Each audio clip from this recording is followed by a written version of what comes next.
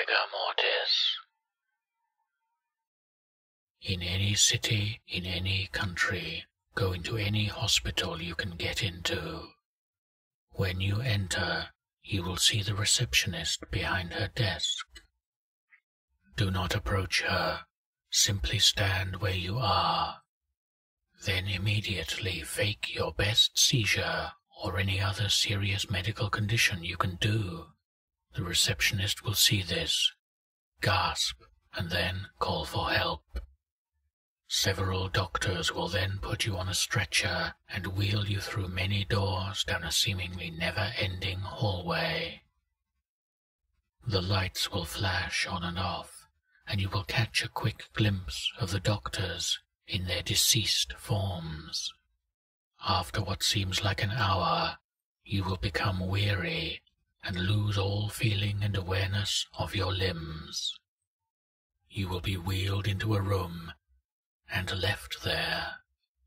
It will look like a normal operating room with an operating table containing a scalpel, needles, syringes, and other medical paraphernalia.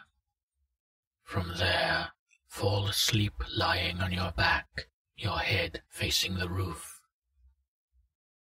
When you wake up, you will find a Siamese twin doctor conjoined at the hip standing beside your bed.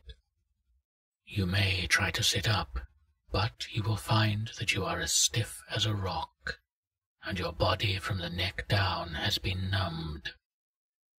The right head will simply say, All right, he's awake, and begin to operate. The doctor closest to your bed will tear open your shirt and request items from the far doctor he will hand him a scalpel and begin to cut a long line from the top of your chest to the beginning of your belly button. It's best you don't look, for you may pass out or simply go insane. You will feel no pain, but the knowledge of being cut open is enough of a burden. For an hour they will be operating on you as the right doctor dissects you and the left doctor hands tools. At the very end, he will stitch you up and then leave covered in blood and other bodily fluids. To return to the real world, simply fall asleep again. When you wake up, you will feel a discomfort in your lower abdomen. If you look down, you will find the scalpel slightly piercing your stomach making a vertically slanted flap of bloodied skin. Take the scalpel and bandage up your stomach using the bandage wrap beside you. After this, make your way to the front of the desk, keeping the scalpel with you. When the receptionist asks if she can help you, stab her in the forehead with the scalpel.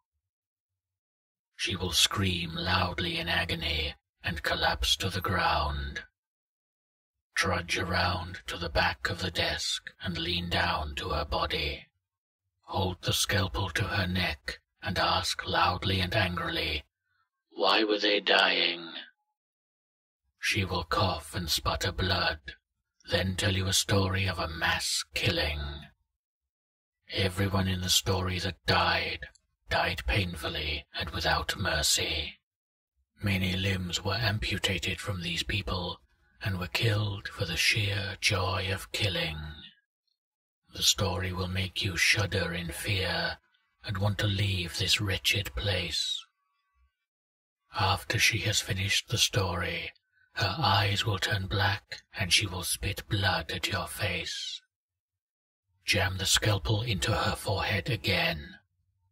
As quickly as you did this, leave the hospital. They will hurt you, and they will kill you. The scalpel is Object 109 of 538. As the second scalpel, you can now wield one in each hand as weapons to fight for your life. You'll know when it's time